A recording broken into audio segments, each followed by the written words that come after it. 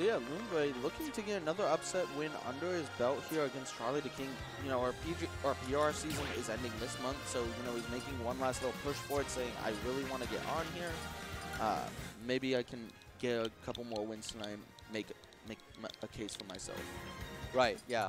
Uh, if Charlie, if Charlie loses this one, I'm sure I will hear somewhere in the venue him loudly complaining about Ness. Um, as he usually guy. does. He's a passionate guy. Yeah, he does. Uh, he is. And uh, I mean, I, I, that's definitely something that I think makes him very good at this game. Is his, his passion and uh, his frustration. so whatever motivates you, dude.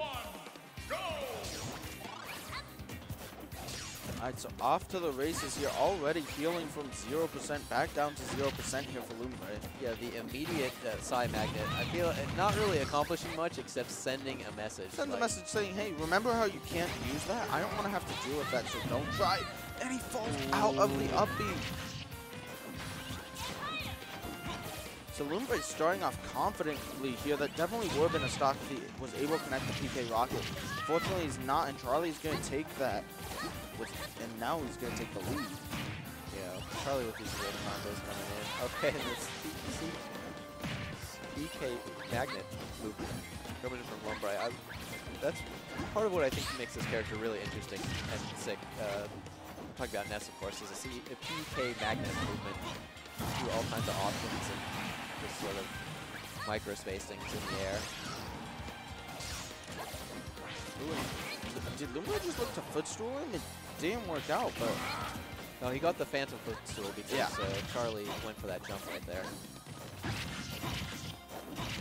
Oh, and he waits for the air dodge up air into another photo. That's so much damage.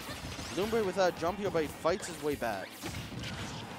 Yeah, but it's already looking grim for Lumbre. He's off stage again, and he's, he's just taking the brunt of Charlie's combo game here with this character. okay. I love that interaction there, how Charlie was just sort of ran away from that grab. Yeah. It's just such a funny that sound to me, and that's going to be 37 and a back throw. Lumbre looking to take this stock off Charlie.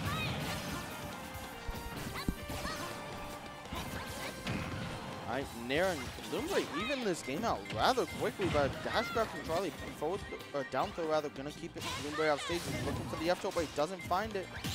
Great roll by a parry on the back here. That's gonna be huge for Charlie as he's able to maintain. Yeah, opposite side of the stage though. Won't kill, but that sure will. Wolf dash attack kind of interesting hitbox. It's got the one in the front that sends you outward and the the... Yeah, he's got two different hitboxes, and both of them kill, and they kill in opposite directions. So you have to change your DI based on which one. Really good move. Okay, yeah, the attack canceled bair right there coming out from Charlie.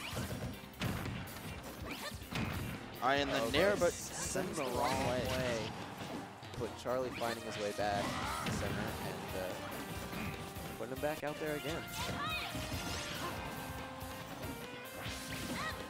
Ooh, and the up smash actually flanking with Charlie's up B, so he's able to make it to ledge for pretty much free. Back throw for Charlie, yeah, not well. as strong as Ness is, so it's not going to be able to kill, but he's done a great job of just playing this oh, anti-grab. Oh, yeah, Charlie getting a little greeting there, getting punished, but he was ready for the negative consequences. And that back air closing it out. Lumbre's got a lot of rage. Ness has some strong moves. He could bring this back. Yeah, I mean, we've seen Char or Lumbre rather put some big damage combos onto Charlie, but, you know, are we going to see another one, or will Charlie be able to close this out? Basically, anything Wolf has can do it. And a bit of a mistake there from Lumbre, spacing himself just a little bit too far when he started the... Yeah, I don't think he was uh, too far away yeah. from the stage to make that happen. Unfortunately for him, he was. I mean, even at like the the apex of his jump there, I don't think he could have made it back. Maybe you could grab the ledge from lower. I actually don't know how that works for uh, I think you have to be higher because uh, Ness falls when you're doing the the uppy very slowly. Yeah, just a little bit. Okay, yeah, Charlie wanted more there. Try to send him up.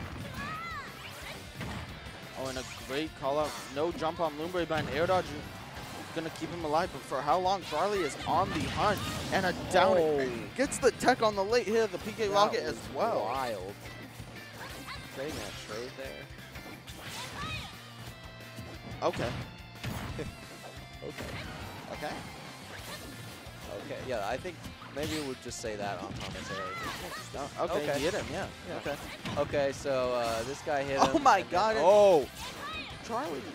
he I swear he's leading the game when it comes to these wolf flash confirms. I don't see any other wolves just going for them as often as he does, and they always connect.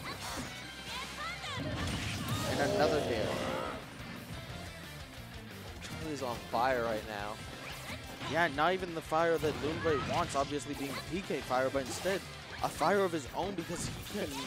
Lumbre cannot catch a break here against the wolf. This is just aggressive. Okay, and Lumbre finally finding his footing here. But as they say in the business, it may be too little too late. Charlie still has all three of his stocks. Yeah, and we know he's not afraid to go out there with these wolf flashes and things like that. When he has the lead, he does. Just gonna run up, grab, back throw, good DI from Charlie. He's not gonna die to it.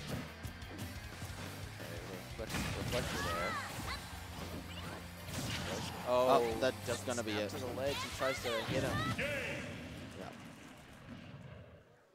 All right, and Charlie with a pretty commanding free stock to end out the set here. Moving on into winners semifinals.